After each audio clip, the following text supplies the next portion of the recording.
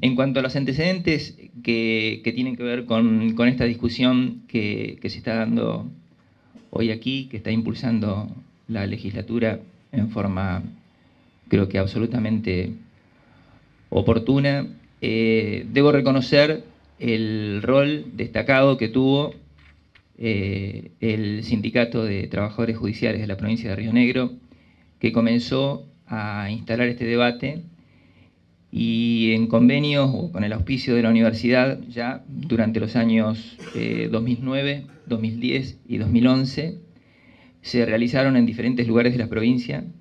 eh, jornadas de reflexión sobre la integración de los consejos de la magistratura. Eh, diferentes modelos, sistemas con, elección de, algunos de, de sus representantes, como es el caso del modelo de la provincia de, Chubut. Eh, hubo encuentros en, nuestra facultad con importante participación de los estudiantes, tres encuentros. Eh, hubo también aquí en la ciudad de Viedma creo que dos encuentros en la ciudad de, Chipoleti. Eh, eso como un antecedente, digamos, de, que este tema no, no, arranca de ahora, sino que hace tiempo que forma parte de la, discusión o de la agenda de debate. Obviamente, eh, a partir de las palabras de nuestra presidenta ante la Asamblea Legislativa, eh, hoy se habla mucho más de, eh, esta cuestión en diferentes ámbitos y las legislaturas o otros espacios de, definición política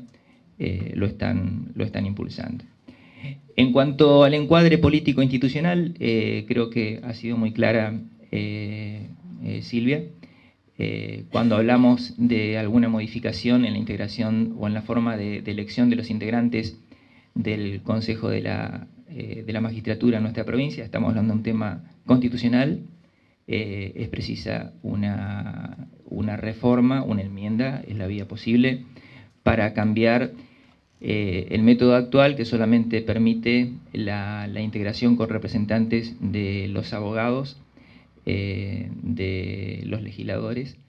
y, sin elección popular de, otros sectores posibles de, la comunidad que puedan, que puedan integrar. En lo personal creo que el modelo de la provincia de Chubut es un modelo muy interesante eh, y fácilmente incorporable y asimilable a, nuestro actual eh, sistema dentro de la provincia de, Río Negro.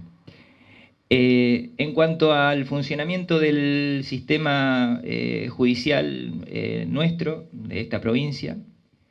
he vivido, y acá hablo como, como abogado, una crisis realmente increíble durante los años 2011 y 2012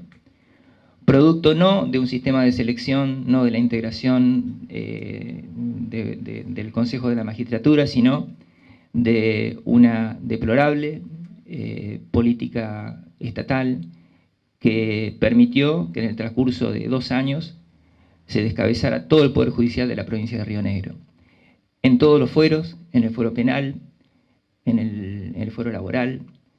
en el fuero civil, nos quedamos sin jueces ni siquiera hablamos de jueces buenos o jueces malos. Nos quedamos sin jueces.